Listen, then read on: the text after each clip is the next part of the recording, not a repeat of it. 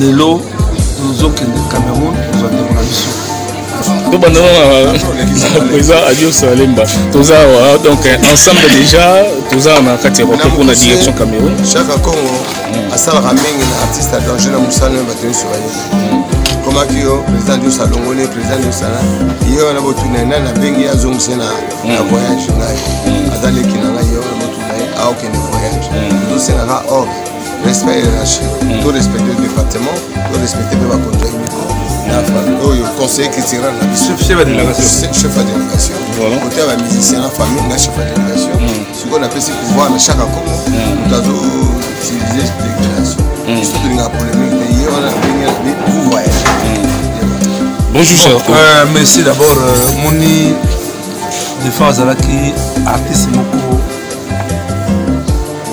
problématique te ye kutu bapolémique azalaki nango te pourquoi d'abord na liboso na koremercier le chef de l'état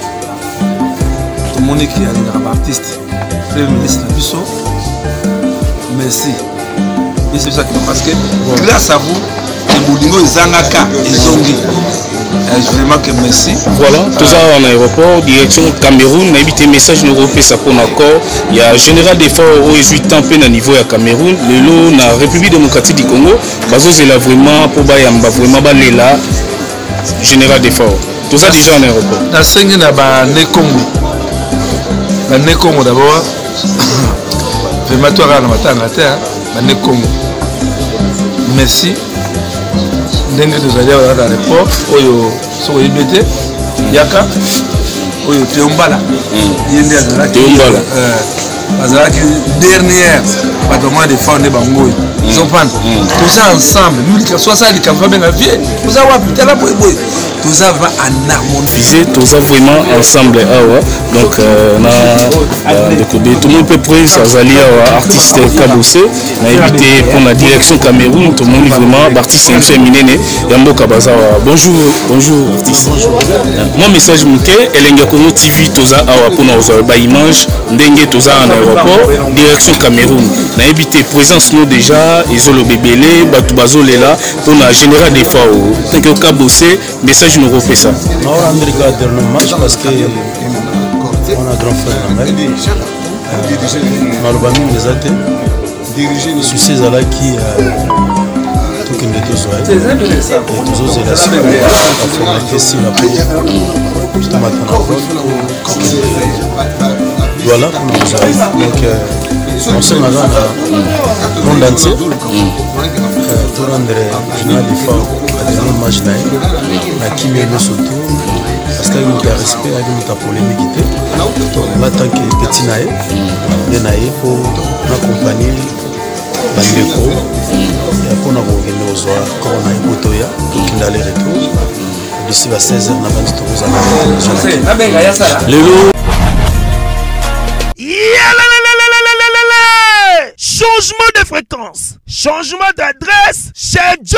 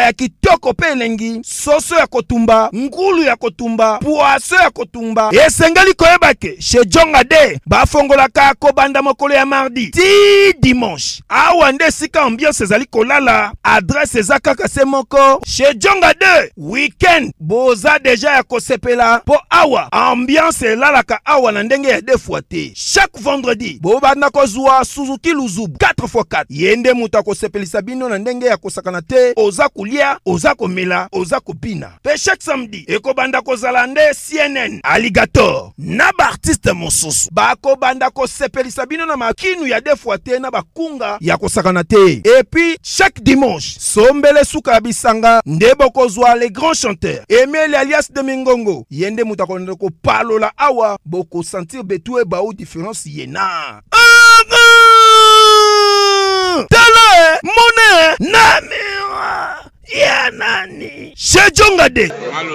oui frère babi jonga futur futur moto akosala 50 boite na kati ya kin sejonga ske soki olingi osala bareservation obengi na banimero oyo mpe bakoservir yo joli kitoko shejonga de yango nde moboko ya ambiance na kati ya paris se naturel soin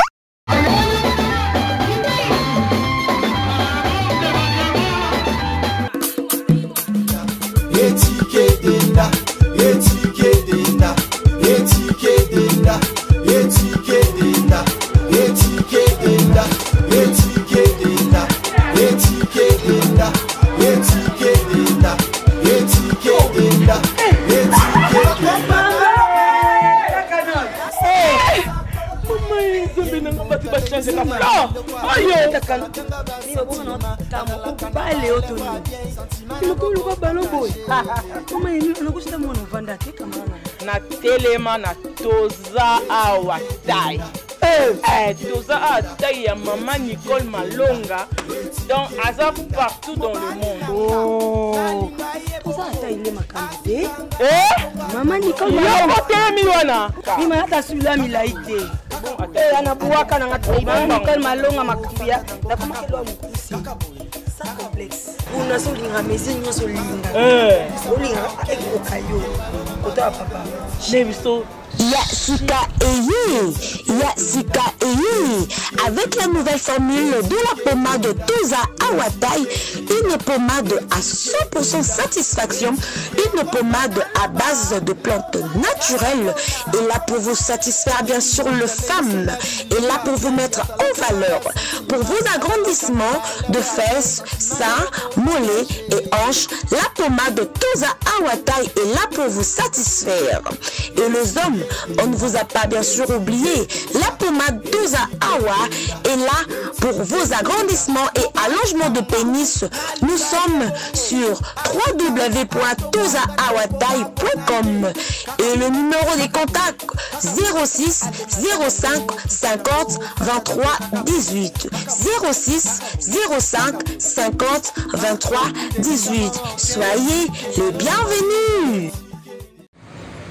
Voilà, mesdames et messieurs, bonjour. Na bino nyonso bozotala biso partout dans le monde. Na Elengia Congo TV, Martin Engi, double vitesse à viser, ensemble na gloire de Kesse. Nde toza awa na kati ya aéroport international de Kinshasa. Toyaki depuis 5 heures.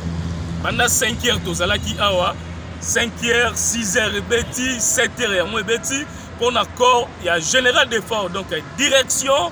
Cameroun toza ensemble na bachaka Congo ensemble na bakabose baartiste ya musicien ya mboka na biso ebele baza awa na nsima na ngai mpo na kokende Cameroun kozwa accord ya général de fort aller retour mpo eya awa na Kinshasa capitale ya République démocratique du Congo voilà bomoni ke corps ya général de fort eumeli vraiment makasi na niveau ya Cameroun na bato balobi na ndenge na bango organisation mais tozali toujours kolandela yango na kati ya elengi ya congo tv mpo tolekisa baimage nyonso awa martin engi double vitesse ya fise kaka nde nalobaki elengi ya congo tv tokolekisa baimage nyonso awa ndenge kor bakozwa yango na niveau ya cameroun na ndenge ekokoma na kinshasa na ndenge tokenda yango na mort na ndenge jour ekobima na palais du peuple bakoexpose yango tokozala wana mpo tolakisa bino ekipe momba ya elengi ya congo tv bakozala wana mweke ngai na voyage te nazala a jour corps ekobima merci vraiment na hugue libanza hugue libanza papa gucci toza awa na aéroport mpo na direction cameroun mpo na corps ya général de fao merci mpe na junior lange le jeune patron oyo azotala biso merci na karisha sadike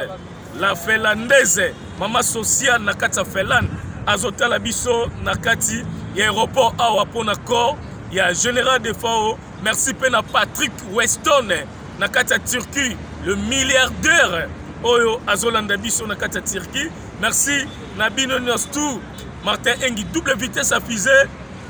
naza awa mpo na corps ya général de fao merci mpe na gael katanga na kati ya france merci na papi chopanda na kati ya bruxelles napesi yo bambote merci mpe na fabiola madidi toujours na kati ya bruxelles mare mwasola kitoko merci na bijou kenzo mbui mwasi kitoko na niveau europe napesi yo bambote donc rendez-vous elenge congo tv martin engi double vitesse affusée narataka image te natikaka image te naza awa na aéroport ensemble na délégation mpo na direction cameroun mpo na corps ya général de port ezoya awa na kinshasa merci tokota na kati elenge congo tv tozwa baimage ya baartiste ya musicien kabose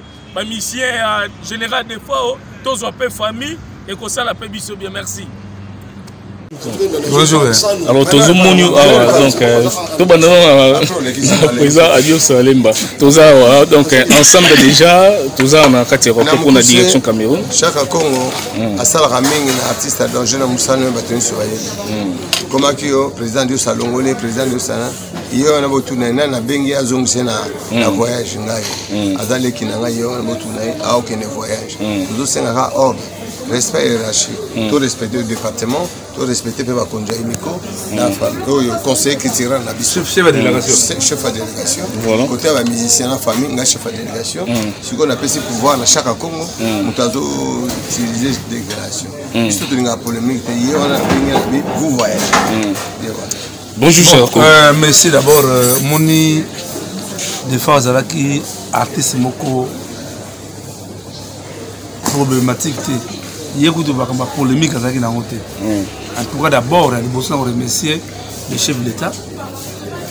tomoni ke alingaka baartiste Premier ministre na biso merci ministre biso akritiki des arts malgré azalaki mpe empêche mais ntango ayoki likambo ya defendre tuka atelemi nango yango omoni euh, dieu merci satan na molimo ya incompréhension lelo tozokende cameroun tozwa ndeko na biso le problème c'est quoi balingi force ya emiko yango nazo lance message na meme bamisa baza na poto tozonga na kati ya emiko c'est une grande association emiko c'est une force je crois bomoni deja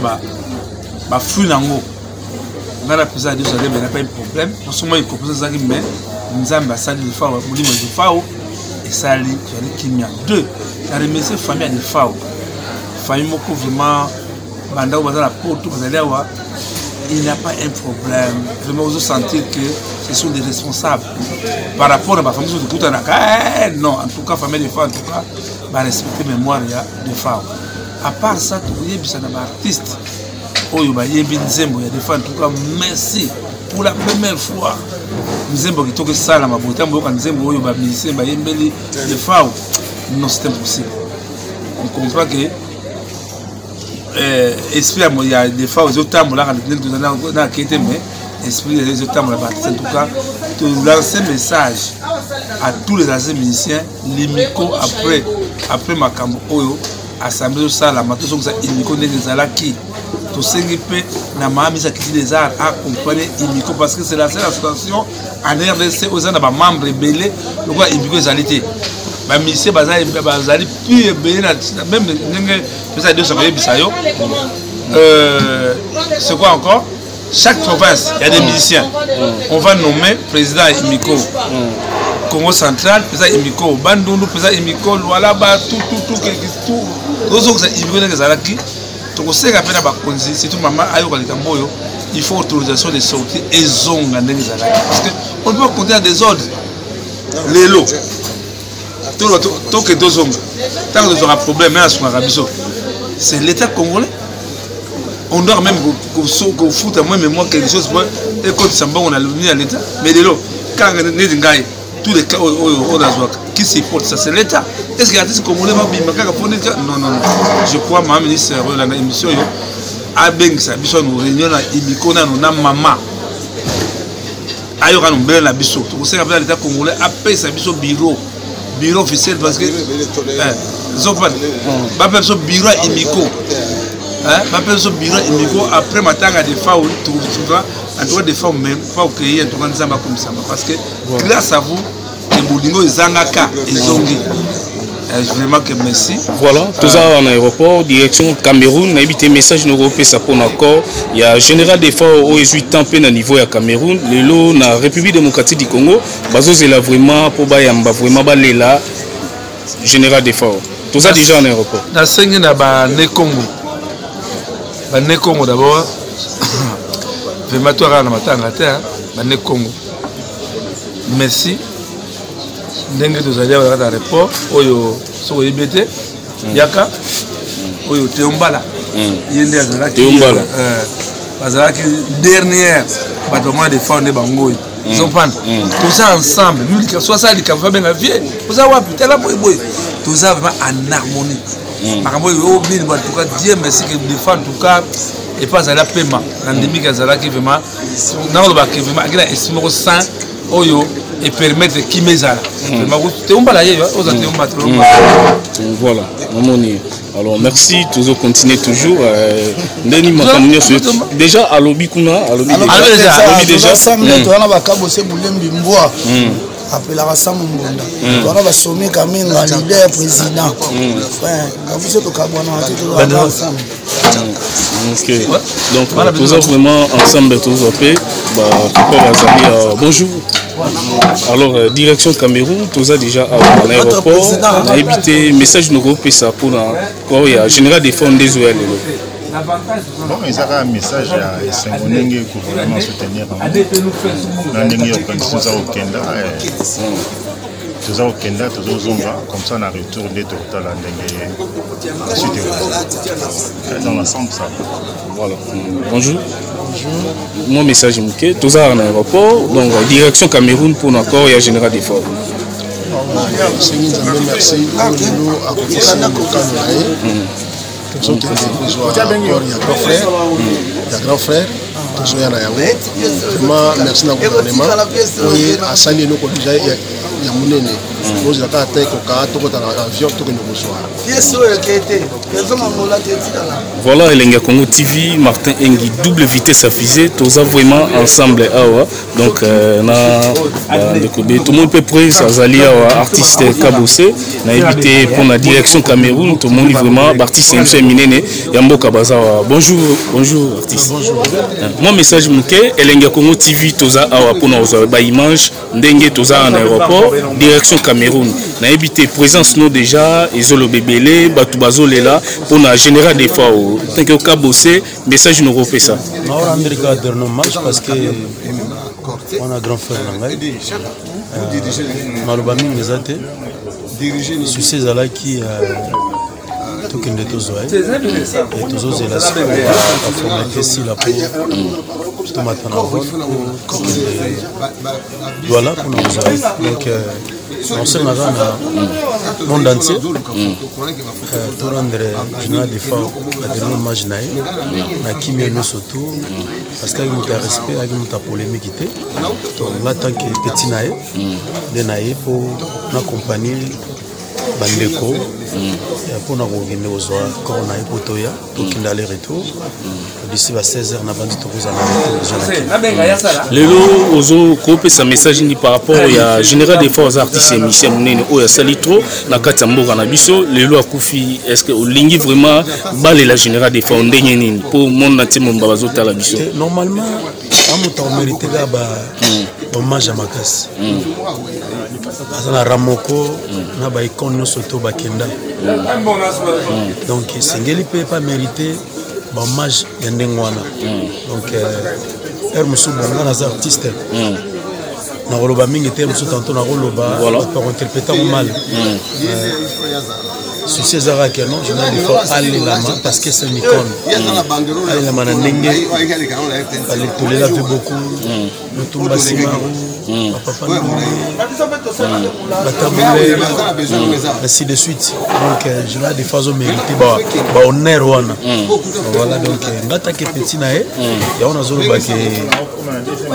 naoloba mwa tro te mai tosolola soki hmm. matanga genoa de fa osilingaobengisa mpena na mobele ya koloba ah, instant mpena oyebi kaka bon hmm. baémotion eza mwa tro ah, kotala ke tozalaki na ye bien hmm. le jour avajaki tosolola mpe tokomanaka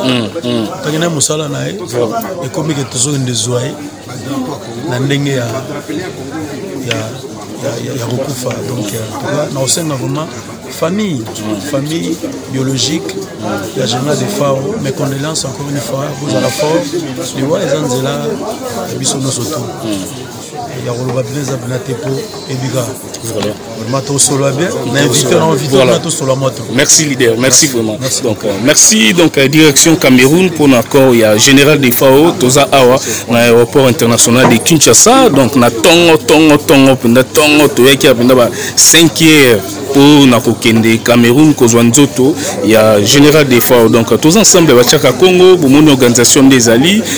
ba président adios alemba toza vraiment telemi ebele awa baptiste michel organisation ya bien awa na kati ya aéroport ensemble mpe donc gloire diakese oyo omoni cameraman réalisateur ya elengi ya congo tv oyo gloire diakese moto afilmanga bomoni nde toza ensemble martin engi double vitesse afise merci vraiment na hugue libanza hugue libanza papa gucci oyo azotala biso merci mpe na junior langue le jeune patron pourquoi pas patrick weston na kati ya turquie toza vraiment ensemble tozela nzoto ya général defort eya tolela ye na ndenge esengeli tozokende direction cameroun mpo esala bien merci mpe na carisher sadik la finlandaise mama sociale oyo azotala biso merci na fabiola madidi na kati ya belgique topesi yo bambote place ozali merci vraiment na bino nyonso junior lange le jeune patron igue libanza papa gucci martin engi double vitesse afise merci vraiment merci beaucoup